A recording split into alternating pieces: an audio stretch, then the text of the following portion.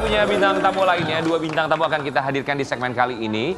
Yang pertama, dia adalah sosok yang mengaku sebagai artis dan selalu kontroversial. Yang satu lagi sosok yang satunya mengaku sebagai cicitnya Mbah Priyo. Di pagi-pagi ambiar kita hadirkan ini dia Danis Ceryasta dan juga Jindan.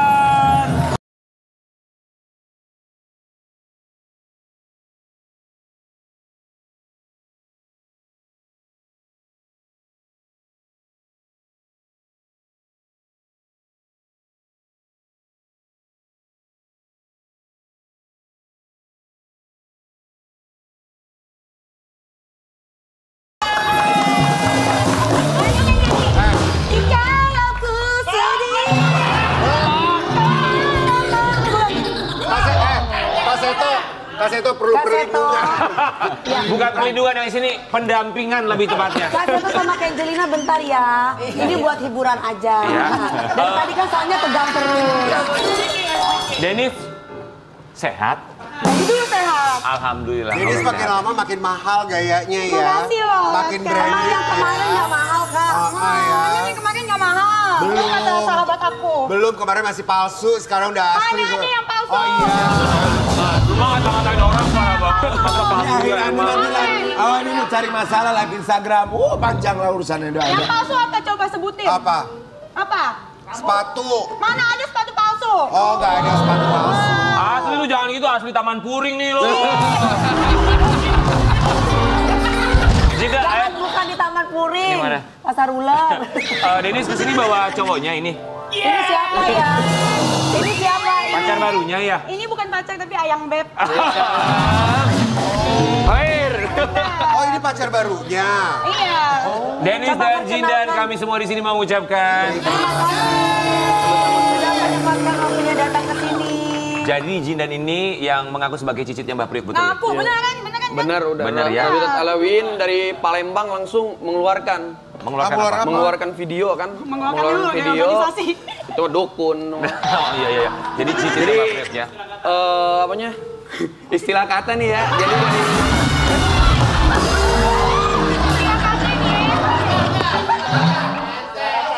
Jadi di mana saya punya Ami itu langsung mengeluarkan kebetulan beliau jadi Robito di sono ya, apa ya?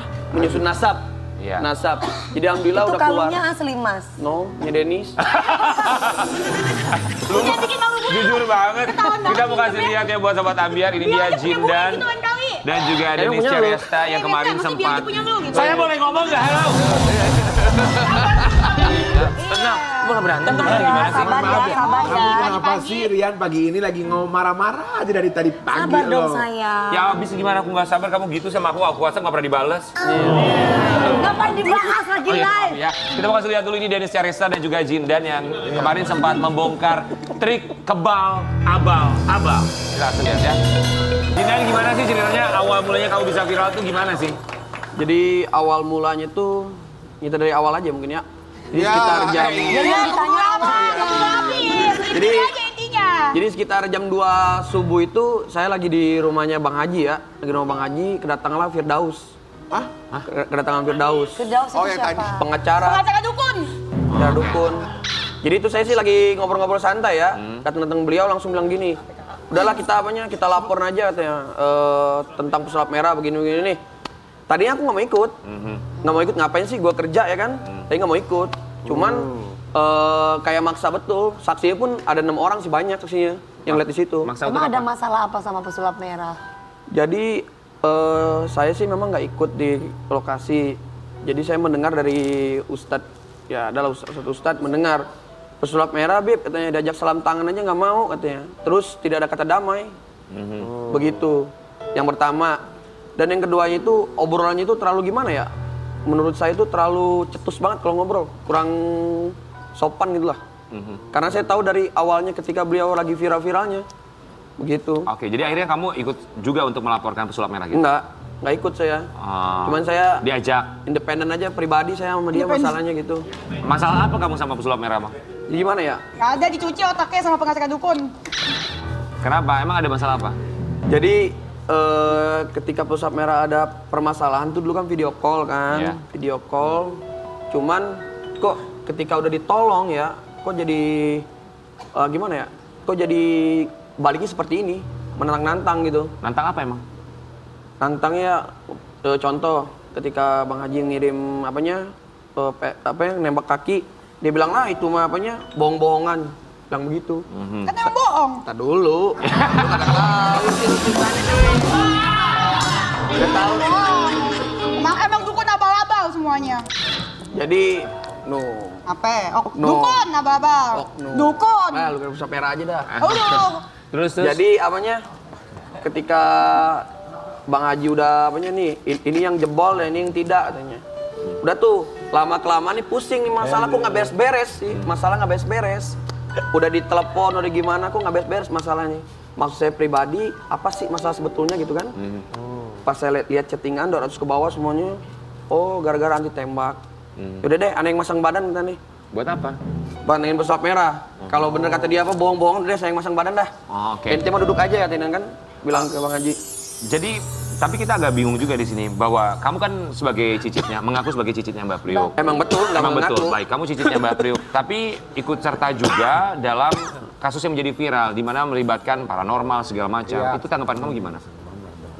Saya pribadi sih tidak ikut yang namanya apa ya SLM apa perdukun tidak ikut saya. Tidak. SLM itu apa? Wah, saya juga kurang tahu lembaga Lembaga apa. dukun. Lembaga dukun intinya Tadi tuh. kan pasang apa bilangnya uh, jin, uh, pasang badan daripada parang pasang badan mending pasang nomor dapat untung. Kita. Jadi kamu nggak ikut campur ya? Tidak ikutan dari SLM atau apa. LSM. SLM kan? Emang dari awal, memang dari awal. SLM mas salam. Assalamualaikum. Jadi memang dari awal saya udah bilang saya tidak ikut namanya dukun, cuman saya membela di mana nih guru, ini punya guru nih. Saya bela, yaudah deh. Ente katanya diam aja, udah di majelis biar saya aja yang depan. Oke. Soalnya ma- masalah ini nggak nggak beres-beres nih masalah begitu. Jadi sebenarnya yang ke podcast gue paranormal mah dukun-dukun. Apa ya? Ke podcast gue mah Nah, dukun-dukun. itu. buat konten kali Bagaimana ya, tuh? buat Bagaimana buat tuh ini, buat Datangnya sama Persatuan Dukun Indonesia ke podcast gue. Jadi kalau gua ceritain sesungguhnya ya, Sesungguhnya. ini serius nih. Jadi saya sesungguhnya itu istilahnya apa? istilah Istilah KT. nih. jadi jadi istilah KT ini pas gue lagi apa bangun tidur banget nih HP nelpon lu ada kali 20 kali yang nelpon Bib, ente sini Bib ke Denis Cadel katanya. Iya ngatain gue cadel. Iya. Mana tuh? Saya lihat kan YouTube dia. Oh, ini. Udah tuh Ana bilang nggak nggak jadi ah katanya. Terus dia bilang lagi, udah cepetan Bib, sini Bib katanya cepetan, buru-buru dah. Emang kebetulan eh, rumahnya beliau sama kantor deket. Ya udah dah sekalian. Nah, bingung di sana kan mau ngapain, mau ngomong apa bingung sana udah. Pokoknya udah deh yang ente bisa aja ente jeplakin ya kan. Ya udah. Mau ngeluarin apa lagi? Eh, gotri kagak bawa ya kan. Udah aja lah katanya. Tuh trik jarumnya gimana ente katanya. Ya udah. Orang? Emang Sebenarnya ente ini keturunan Habib apa paranormal? Aneh. Aneh Geseran asli. ke sono. Ke sono geserannya. Mau ngapain sih deket-deket gue? Deket dulu. Kalau saya pribadi sih, saya memang dari keluarga, memang dari keluarga Habaib. Saya tinggal di Palembang, di 12 Ulu, di mana kota Tarim kedua mungkin Indonesia. Oke. Jadi kamu tuh sebenarnya mewakili siapa sih? Sebenarnya ini, Iya. Oh, kagak paham. ngewak ngewakilin Haji Ridwan. Soalnya ribet banget setiap hari. Setiap hari nih, pesulap merah, pesulap Iya. merah, pesulap merah. Udah dah katanya dah. Siapa Haji Ridwan? Guru saya. Oh. Guru saya. Oke, oke. Bukan Dia- guru. Maksudnya pesulap merah gimana sih? Jadi, Haji Pesulap merah orangnya baik kok. Jidan, Baik. pesulap ya kan gue iya, kagak tahu. Intinya tuh Eh, pas. gua udah bilang ya, dulu. Intinya kan yang saksi kan gue dengerin saksi satu tuh. Gue samperin satu.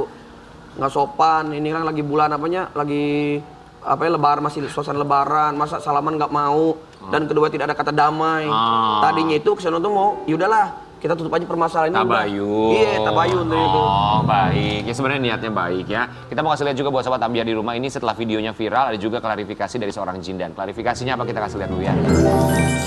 Itu ada gurunya kamu di sana. nggak ada nggak ada itu nggak ada guru Gurunya ada di mana? di rumahnya lah Oh ada di rumahnya. Iya. Guru siapa namanya? Eh, Haji tuh bagus Muhammad Sekarang nonton Haji itu bagus. Pagi-pagi. tidur kayaknya dah Oh tidur. Oh tidur lagi tidur. Ah, soalnya baru pulang tapi Denis ngeliat jin Denis itu seperti apa sih? Kalau Denis? Kalau gue, menurut gue dia lucu. Gue ngeliat dia kayak waktu inget pas gue dihujat dulu. Iya, kan dihujat juga, dihujat abis. Terus akhirnya ngelihat dia lucu, akhirnya kamu ajak kolaborasi bareng. Iya, gitu. Kolaborasi ngapain? Kolaborasi nyanyi. Emang Kok bisa kenyanyi? Jindan bisa nyanyi? Oh iya benar. Sebentar, Jindan bisa nyanyi? Nggak bisa. Nggak bisa nyanyi kalau ajak nyanyi? Ya gue aja nggak bisa nyanyi, tak kenal. Iya.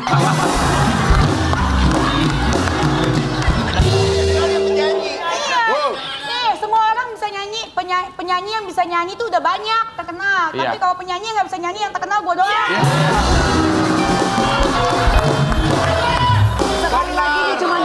ya guys. Ya, kita Nah, lihat takutnya ya. anak kecil yang nonton jadi contoh. Kolaborasi, kita boleh kolaborasi antara Dennis Ceriasta dan juga Jindan. Kolaborasinya seperti apa sih penyanyi yang nggak bisa nyanyi gitu ya? Kita lihat satu ini. Setia sama yang pertama. Aneh kebal tembak Walau ente paksa-paksa. Jangankan cuma cinta Peluru gotri aneh. Tangkis istilah kate Istri aneh lebih manis. Aneh habib jindan Cicit mbak priuk paling tampan. Jikalau ditembak nggak mempan Wajar kalau ente nyaman. Sekali sewang kita hidup masing-masing. Ente kasih godaan aneh nggak berpaling Ente kadang-kadang buat aneh melayang Ente kadang-kadang jikalau aneh sayang Ente kadang-kadang ini beda lagi Ente kadang-kadang ini masalah hati Eh, maaf, kolaborasi. Lu nyanyinya di mana? Mana? Nyanyinya awalnya nggak diputerin kenapa sih? Gimana lah gue? Nanti nanti bakal nyanyi live di sini ya. Nyanyi di sini ya. Itu yang ciptain lagu, judulnya apa? Ente. Istilah kata. Ente. Istilah kata. Yang ciptain lagunya siapa? Gue. Tentang apa ini? kaseto apa tegang. Istilah kata itu. itu dari liriknya dari kisah cinta gue. Kenapa kisah cinta? Kisah cinta gue. Ke Jindan. Jindan kan udah punya bini. Salam. J- Lu cinta sama Jindan, Mas? Gimana sih? Li- Lirik lagunya, Aha. inspirasinya, Iya. jadi kisah ceritanya, Aha. gue cinta sama Jindan. Tapi Ah. Jindannya kan udah punya bini, Iya. gitu kan. Tapi Makanya- aslinya suka nggak Denis? Aslinya Jindan? suka. Suka pengen pengen nampol. Oh, jadi tentang lu yang suka sama Jindan yang udah punya bi- bini. Eh, udah punya bini? Oh, emang udah menikah. Kalau Jindan, Umur Jindan suka 22 nggak kalau- tahun kamu ya? Kalau Jindan Jindan suka, suka nggak sama uh, Denis? kalau Jindan Suka suka nggak nggak? sama Denis? Suka sih su- suka sebagai kakak Lihat ini seperti apa orangnya? Eh, Jarang-jarang orang yang seperti beliau ya Wih, beliau. Bawel-bawel ya tapi baik Bawel-bawel tapi baik. Enggak, tapi suka enggak gitu. Iya suka jadi kakak Nggak mau jadi yang lain? Nggak mau Kenapa? Udah cukup jadi kakak doang Karena beliau gimana ya eh ngobrolnya itu loh, ngobrolnya itu walaupun galak cuman ngasih ilmu itu. Ilmu apa? Ilmu apa lagi? Nanti mereka berdua akan tampil langsung di Pagi-Pagi Ambiar dengan lagu terbarunya berjudul apa? Istilah. Istilah kata. Istilah kata. Tetap di Pagi-Pagi Ambiar.